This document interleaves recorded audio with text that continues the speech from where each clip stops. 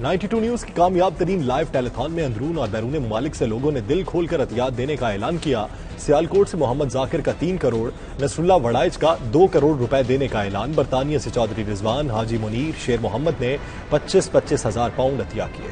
Canada سے رانا روف نے پینتیس ہزار ڈالر، جعفر حسین اظہر دورانی اور خاتون ساجدہ نے پچیس پچیس ہزار ڈالر دینے کا اعلان کیا۔ یو اے سے خان زمان، ڈاکٹر بو عبداللہ اور محمد خان نے پچاس پچاس لاکھ روپے عطیہ کیے۔ دبئی سے شوکت بٹ کا ایک لاکھ درہم، فرانس سے اکبر نامی شخص نے پچیس ہزار پاؤنڈز دینے کا اعلان کیا۔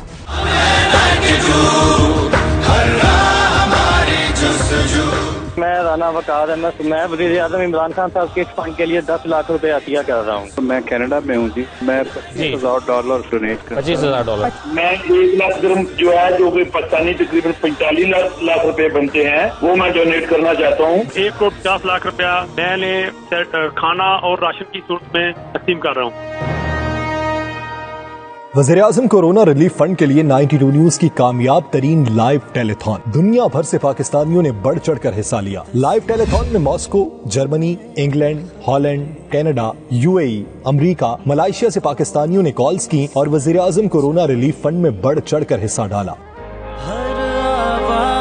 ہے کی منظر پہ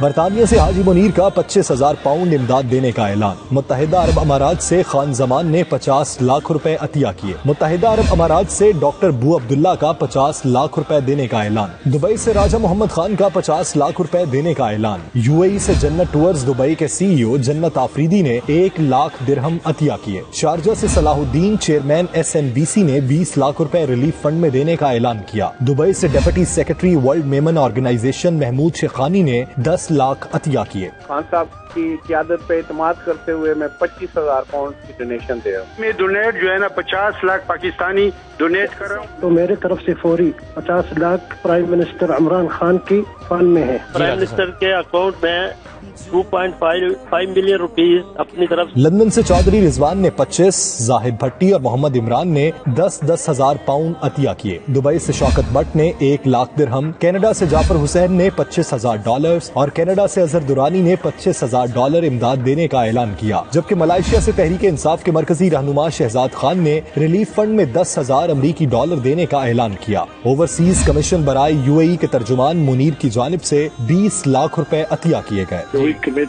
25,000 pounds uh, to donate. میں دس ہزار پاؤنڈ عمران خان صاحب کے اکاؤنٹ میں ٹرانسفر کرنا چاہتا ہوں۔ میں ایک لاکھ درم جو ہے جو کہ پاکستانی تقریباً پینتالیس لاکھ روپے بنتے ہیں وہ میں ڈونیٹ کرنا چاہتا ہوں۔ میں پچیس ہزار ڈالر جو ہے وہ ڈونیٹ سیالکوٹ سے محمد ذاکر کا تین کروڑ روپے دینے کا اعلان۔ چودھری نصر اللہ وڑائچ کا دو کروڑ روپے دینے کا اعلان۔ لاہور سے ڈاکٹر زبیر کا بیس لاکھ روپے کی کٹس اور ہینڈ سینیٹائزرز دینے کا اعلان۔ میں تین کروڑ روپے دینا چاہ رہا تھا۔ پچاس لاکھ روپیہ prime minister prime minister fund کے لیے اور ایک کروڑ پچاس لاکھ روپیہ میں نے کھانا اور راشن کی صورت میں تقسیم کر رہا ہوں۔ ٹو ملین بیس لاکھ روپے کی ڈاکٹرز کے لیے پروٹیکٹیو کٹس اور ہینڈ سینیٹائزر دینے کا اناؤنسمنٹ نائنٹی ٹو نیوز کی طرف سے کورونا ریلیف فنڈ میں احتیاط جمع کرانے کی اپیل پر دنیا بھر سے پاکستانیوں نے بڑھ چڑھ کر حصہ لیا اور ثابت کر دیا کہ نائنٹی ٹو نیوز اور عوام کا رشتہ بہت مضبوط اور گہرا ہے۔